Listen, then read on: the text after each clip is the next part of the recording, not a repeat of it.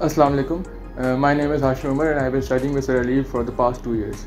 Sir Ali is a very uh, dedicated and different type of teacher. Different in the way that he makes sure that each and every one of our students uh, completely understand the topic before he moves on to the next one. Apart from this, Sir also uh, created a schedule for us for his students to follow and uh, ensuring that no student would have any difficulty in completing the syllabus. Sir followed a schedule himself and completed the syllabus with us in uh, March and then he moved on to the past. I'd like to thank Sir for his hard work and dedication towards his students.